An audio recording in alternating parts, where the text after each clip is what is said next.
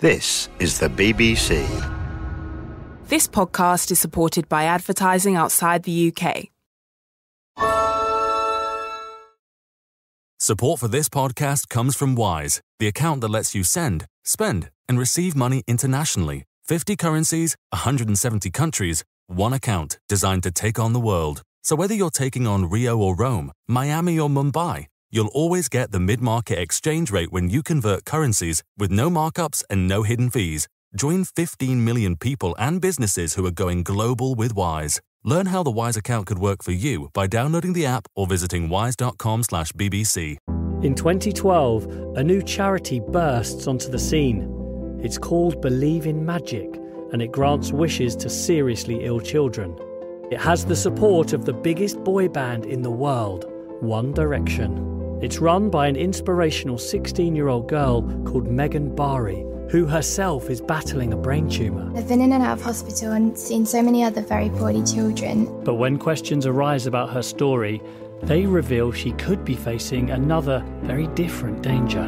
What is this girl going through? It wasn't supposed to end like this. Listen to Believe in Magic with me, Jamie Bartlett.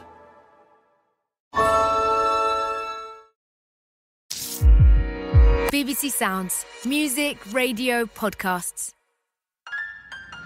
Hi, my name's Greg Jenner. For the past decade, I've been making history funny for kids on the BBC's award winning Horrible Histories, and now I'd like to do it for you. You're Dead to Me is a new history podcast for people who don't like history, or at least people who forgot to learn any at school. In each of our episodes, I'm joined by a top notch comedian and an expert historian to rummage through the most fascinating things that you should know about the global past. You know, you've got a law here saying witches can do things with this power of theirs. They can kill, they can harm. Ah. Was there some way that women were becoming more powerful that that made that patriarchal society panic? She should be a historian. This is brilliant. this is certainly a period in which the patriarchy is Yeah. becoming very anxious. There used to be a village. Yeah. And there was a pig's bladder. It's always a pig's bladder. Yeah. And every like May, I don't know, bank holiday, a pig's bladder gets thrown into the town centre. Did you used to like literally like on the town square and one half of the village wrestle for it against the other half of the village. and it's like and then football was born. I think that was enough for me. I was kinda like, oh yeah. Pig's bladder and the town square, and and like as like a nine year old, you'd be like, and that makes sense. And then that's kind of where my brain stopped. And then suddenly it's Italia ninety. You gotta go, you know, you gotta go. The pig's bladder. We win the World Cup in '66, and then it's Italia ninety. okay, let's go.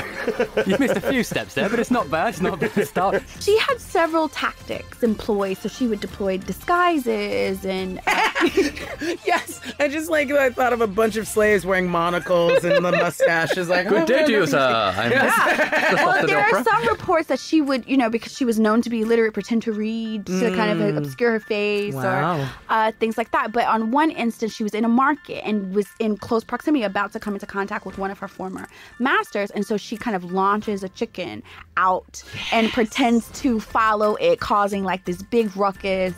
Um, and he never gets a chance to to see her, and so she's able to kind of make a, a clean getaway.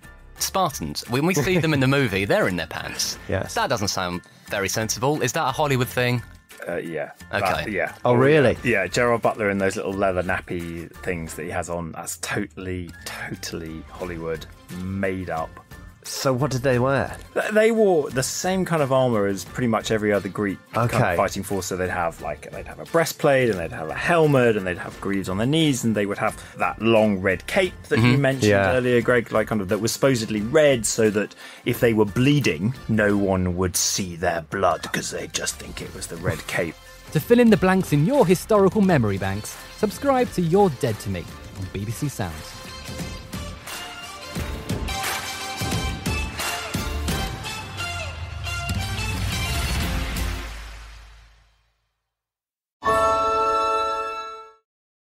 Support for this podcast comes from Wise, the account that lets you send, spend, and receive money internationally. 50 currencies, 170 countries, one account designed to take on the world. So whether you're taking on Rio or Rome, Miami or Mumbai, you'll always get the mid market exchange rate when you convert currencies with no markups and no hidden fees. Join 15 million people and businesses who are going global with Wise. Learn how the Wise account could work for you by downloading the app or visiting wise.com/bbc. In 2012, a new charity bursts onto the scene. It's called Believe in Magic and it grants wishes to seriously ill children. It's run by an inspirational 16 year old girl called Megan Bari. Just wanted to give them the magical experiences back. It has the support of the biggest boy band in the world One Direction. Believe in Magic quickly becomes a household name in the child cancer community, putting on parties, sending thoughtful gifts, even organising trips to Disney. Every single child there felt like they were so important and they, they weren't poorly, they weren't in a hospital. It was out of this world. Megan is adored by all those she helps. She had more sympathy and love for people than I'd ever met anybody before. Because she herself is extremely unwell with a life threatening brain tumour. Her handbag was so heavy, none of us could ever carry it, and it was full of medicine. When something doesn't add up about Megan's story, a small group of parents start to question whether Meg is really ill. I'd call it a witch hunt kind of thing, asking questions like, which hospital are you in? They know that they're not being honest about her illnesses. We collectively said, we won't let it drop, we'll find out this time. But is Megan actually facing a very different danger? It's just awful. It's really not nice listening to that, was it? What is this girl going through? I'm Jamie Bartlett, a journalist and author, and together with the producer Ruth, we've spent the last year trying to get to the bottom of what really happened to Megan Bari and her charity, Believe in Magic. I cannot for the life of me understand why you've done what you've done to us. It takes us on a journey far stranger. I just saw a Mercedes and I thought it was it. That's not her car. It's not a car, is it? And far darker than we ever expected. I know what the truth is. I've read the records, and they just come in and lie to me. It wasn't supposed to end like this. Listen to Believe in Magic.